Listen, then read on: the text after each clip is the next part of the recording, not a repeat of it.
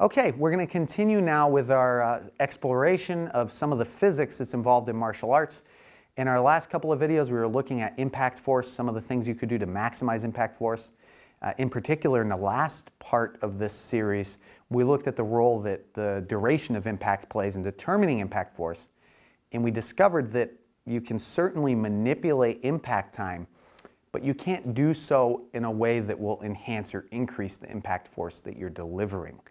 Uh, so now I want to look at a principle, a very basic, straightforward principle that will show us a variable that we can manipulate that will help us to accentuate the effect that our strikes and, and kicks, our various weapons have on our opponent. And this is one I'm, I'm certain you're familiar with.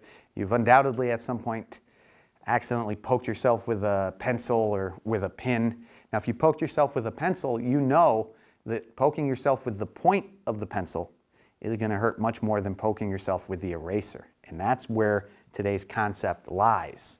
And that's something that we call pressure. See, now we're not just looking at force, we're going to be looking at the, the area over which that force is delivered and how the area affects uh, the nature of the impact. And in fact, pressure is force per unit area. And what you should see here is if the force is constant, if that's something that we've already established based on the conditions prior to the collision, prior to our impact with our opponent, well, we have control over the area over which we're delivering that force by our choice of weapons. So you can see it's important to choose the appropriate weapon, uh, not just so that it, it fits the target at hand.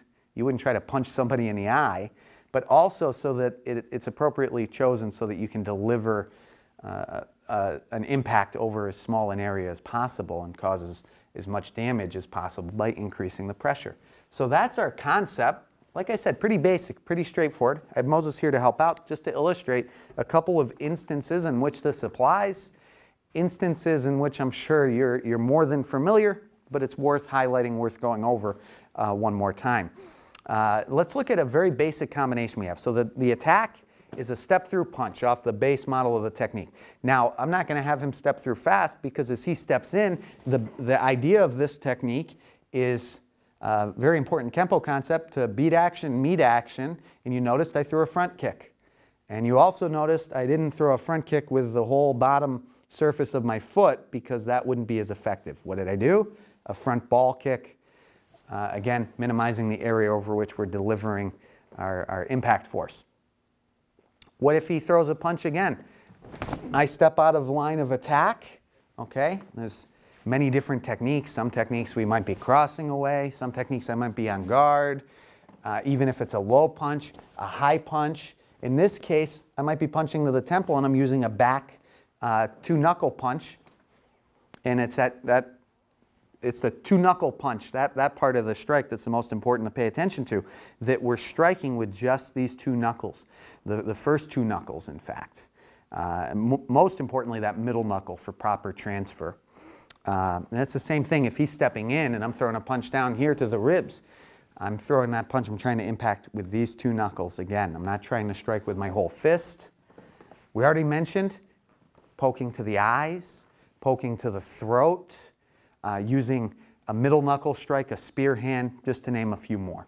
Okay, so that's, uh, again, that's the concept. It's a straightforward concept. You probably already understand pressure. You've probably already seen this equation, but it doesn't hurt to refamiliarize yourself with it and uh, go back over it one more time and take a look at your techniques, at the way you're implementing your basics, and ensure that you're utilizing this concept whenever and wherever possible uh, so as to enhance the effect of your strikes.